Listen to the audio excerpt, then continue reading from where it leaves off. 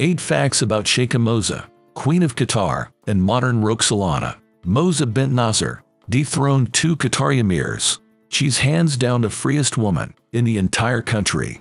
She holds multiple degrees and billions in assets. Here's her mind-blowing story. 1. She married the son of her father's jailer. Moza was born in 1959 in Al-Khor. Her father was a businessman and politician. He spoke out against the emir for unequal wealth distribution. He was jailed. In 1964, he was released. The family fled to Kuwait and then to Egypt. Moza returned to Qatar for university. This was when the emir's son, Hamad, decided to marry 18-year-old Moza. She became his second wife. In 1995, Hamad overthrew his father in a peaceful coup. He became the new emir. His wife Moza became the Sheikha. 2. Moza lives freer than most Qatari women.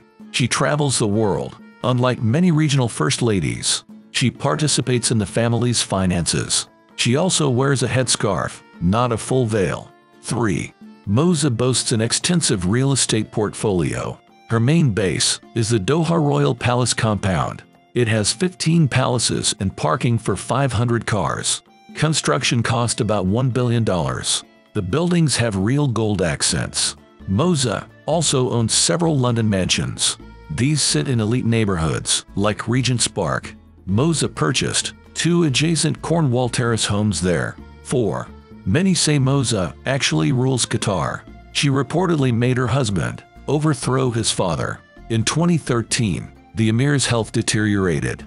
Moza arranged for her son Tamim to take over. She is the current emir's mother.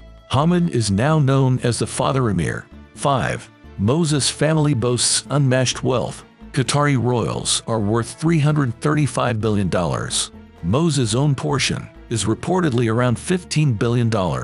She partly owns assets, like London's Shard skyscraper. As the emir's mother, Moza can access his assets as well. These include the Qatar mega yacht with a chopper pad and room for 35. The Royals also have a 14-jet private airline. It serves only top officials in the royal family. 6. Moza's family owns many luxury brands. These include Harrods, Valentino, and part of Louis Vuitton. In 2012, Qatar Holding paid $700 million for a 1% LVMH stake. Moza is regarded as a fashion icon. She says no stylist understands what I want. Her fashion collection offers a mental treat. She loves spending private time with it. 7. Moza has an impressive jewelry collection. Her looks include diamond necklaces, dramatic earrings, and huge gem rings. She wears Cartier, Van Cleef, and more. Moza owns a diamond-covered Cartier snake necklace. Rumor says the necklace was once modified. Two big emeralds were swapped for diamonds.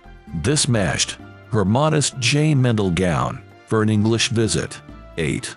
Moza is a highly educated woman. She originally wanted to become a doctor. Instead, she studied sociology, earning a Qatar University degree. Later, Moza completed a master's in public policy and Islam. Her father studied while imprisoned. This motivated her own education. Besides her degrees, Moza has received many honorary doctorates. Several came from American universities.